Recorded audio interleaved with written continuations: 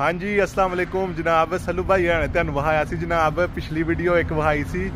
ਇੱਥੇ ਦਾ ਮਾਲਟਾ ਦੇ ਜਿਹੜਾ ਪ੍ਰਾਈਮ ਮਿਨਿਸਟਰ ਸੀ, ਉਹ ਡੂਮ ਮਿਨ ਮਿੰਟੋਫ ਦੇ ਨਾਂ ਤੋਂ। ਅੱਜ ਜਨਾਬ ਸੱਲੂ ਭਾਈ ਹਰੀ ਵਹਾਣ ਕੇ ਜਨਾਬ, ਸਰ ਉਗੀ ਮਿਫ, ਮਿਫਸੋਦ ਲਿਖਿਆ ਇੱਥੇ। ਲੇਕਿਨ ਜਨਾਬ ਆ ਵੇਖੋ ਅੱਗੇ ਉਹਨਾਂ ਦਾ ਜਨਾਬ ਮੈਮੋਰੀਅਲ ਬਣਿਆ ਦਾ ਠੀਕ ਹੈ ਜੀ। ਇਹ ਚੈੱਕ ਕਰੋ। ਲੇਕਿਨ ਇੱਥੇ ਇੱਕ ਚੀਜ਼ ਜਿਹੜੀ ਨਾ, ਇਹ ਵੇਖੋ, ਇੱਥੇ ਲਿਖਿਆ ਦਾ ਹੋਗੋ ਮਿਫਸੋਦ, ਠੀਕ ਹੈ ਜੀ? ਹੁਣ ਇਹ ਕਨਫਰਮ ਮੈਂ ਗੂਗਲ ਤੋਂ ਚੈੱਕ ਕੀਤਾ ਵੇ, ਉੱਥੇ ਓਗੀ ਮਿਫ, ਮਿਫਸੋਦ ਲਿਖਿਆ ਦਾ, ਠੀਕ ਹੈ ਜੀ ਜਨਾਬ? ਤੇ ਇਹ ਹੁਣ ਵੇਖੋ, ਇੱਥੇ ਹੁਣ ਪਤਾ ਨਹੀਂ ਕੀ ਹੈ। ਕਨਫਰਮ ਕੀ ਹੈ, ਮੇ ਵੀ ਗਲਤੀ ਹੋ ਗਈ ਹੈ।